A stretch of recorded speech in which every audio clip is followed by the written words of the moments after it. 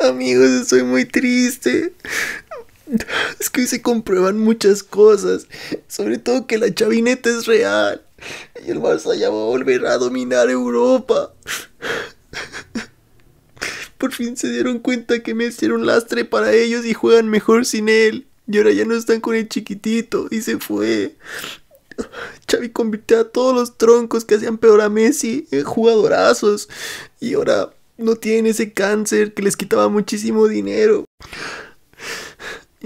Hoy el Barça hizo un fútbol espectacular. Los centros croifistas, las contras croifistas, perdón. Las ocupaciones de espacio perfectas a la espalda de los centrales del Madrid. ¡Qué envidia, de verdad! Hoy el Barça demuestra por qué va a 12 puntos de diferencia del Real Madrid y va a ganar esta liga española. Viendo este partido, amigos, viendo este partido, veo un Barça goleando al Chelsea en cuartos de Champions y ganando, ganando la Champions nuevamente. A ver, tampoco quiere decir que no debemos estar enojados con el partido que vimos hoy porque realmente vimos un Madrid que no salió a jugarle a nada al Barça. Pero por favor, o sea, los del Barça parece que ya ganaron todo. Es lo mejor que pueden ganar hoy. Parece que ya ganaron la Champions y todo por haberle ganado al Madrid 4 a 0. A un Madrid que salió muy mal el día de hoy. Y debo decirlo, amigos. Ustedes vieron el partido. Si ustedes vieron el partido Galatasaray-Barcelona, hoy nos esperan un partido como esto. Y si ustedes han visto al Madrid de verdad jugar en partidos que se tomen en serio, sobre todo como se jugó la vuelta contra el PSG en el Bernabéu se dan cuenta que hoy el Madrid no jugó como el Madrid. Y yo entiendo que el Barça se vaya contento, es lo mejor que pueden ganar, sobre todo por lo que dijimos al principio. O sea, ellos no ganan nada con este partido. Y tan así es lo mejor que pueden ganar en todo el año. Porque es la verdad, no ganan nada con este partido en lo absoluto. Y es ahí donde me pone un poco molesto que el Madrid hoy tenía chances de poder hacer un buen partido, sobre todo porque el 11 de inicio me parece bueno. El problema es la propuesta, salir atrás, porque salir atrás sin salir a presionar al Barça, es echarse atrás sin querer el balón, porque nunca lo quisieron. Y entonces ni siquiera buenas contras había, porque no se podía jugar a la contra cuando no querías tener balón para nada. Es muy diferente defenderte, como lo hizo Ancelotti contra ese Bayern Múnich 5 a 0 en el global, a hoy. Hoy no se jugó absolutamente a nada. Hoy vimos la peor versión de Alaba tal vez, pero podemos sacar conclusiones muy claras para partidos como contra el Chelsea y cosas que eran muy evidentes, porque creo que un Barça hoy sí que le puede dar pelea al Madrid y sé que es un clásico, sé que hay que ganarle al Barça, pero yo siento que son pruebas y esto durante el partido me venía sonando en la cabeza.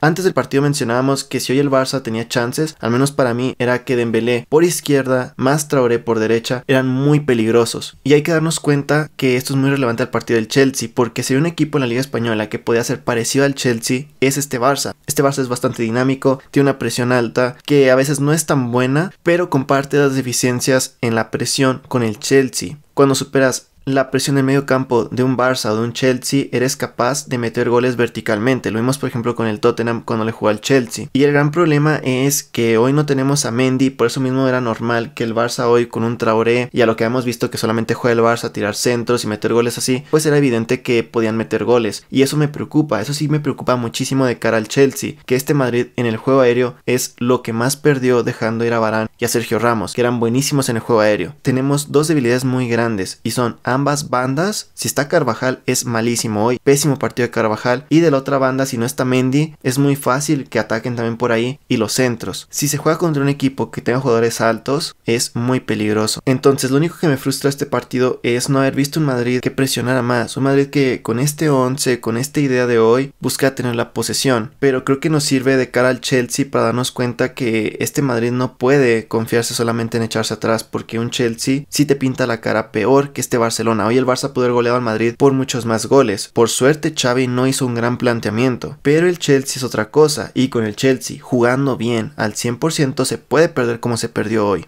porque esto no es cosa de que esté Benzema, porque esté Benzema mágicamente no se va a jugar mejor. Y pues nada, no creo que debamos estar tristes, pero pues evidentemente no te puedes burlar igual de ganar cuando dejas que el Barça te pase por encima, porque el Madrid se dejó pasar por encima. Y creo que fue una falta de respeto a los aficionados, porque el planteamiento fue malo, pero también la actitud no fue buena. Los cambios de Ancelotti en la segunda parte no me parecieron buenos y por eso pienso que probó, porque realmente no hacía falta hacer cambios, simplemente tal vez el de Carvajal, que no tenemos a nadie que reemplace bien por ahí, pero sacaste a Cross y y tenías que ir a quitar la pelota al Barça y te expusiste sabiendo que el Barça no te le iba a regalar. Si los dos goles del principio fueron goles tontos, los dos goles de la segunda parte fueron los más tontos de todos. Pero al final amigos yo entiendo que estarán muy enojados con Ancelotti, pero no se puede dejar pasar esto. Hay equipos grandes que han perdido así. Hoy el Madrid se confía demasiado, saben que son superiores. No me gusta que pierdan así contra el Barça, al contrario, era para golearlos a ellos, no que ellos nos golearan. Pero ahora toca pensar, levantar la cabeza que esto servirá para esos